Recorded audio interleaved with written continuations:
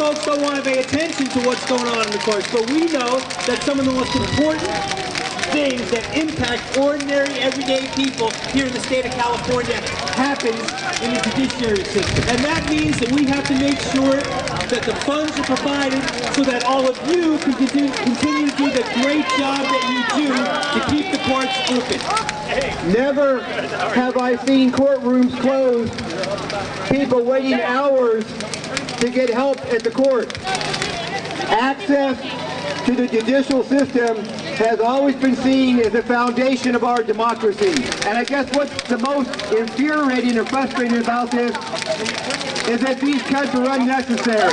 That when we see the nearly $2 billion that are wasted on this computer system, and then to see the cuts that happen on top of that is truly, truly disgusting, and we want to call the public's attention to that.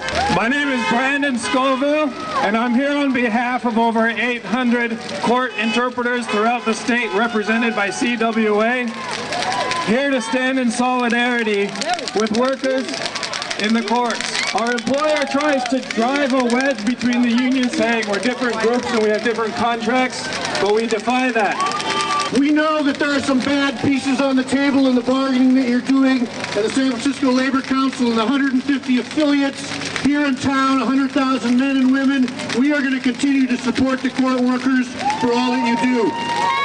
There is, there is absolutely horrible collective bargaining going on throughout the area, and people sometimes forget what this branch of government does, and this court system would fall apart if it wasn't for the good work that you do. And I'm here on behalf of the Labor Council to say we want people to invest in the workers who do the work.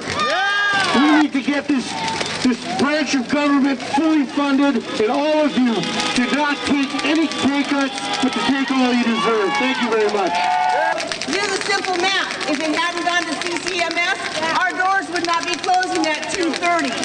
We would have full services in the court. Stop CCMS. Find the court. We need to keep our courts open. We're losing 350 employees and 50 courtrooms. Where are these people going to go for justice? It costs ALC $200,000 to receive a, a 92-page summary on how they will only make $67 million back off of the $892 million they will put into the system. That is very irresponsible and unacceptable. Are we here? Are we being heard?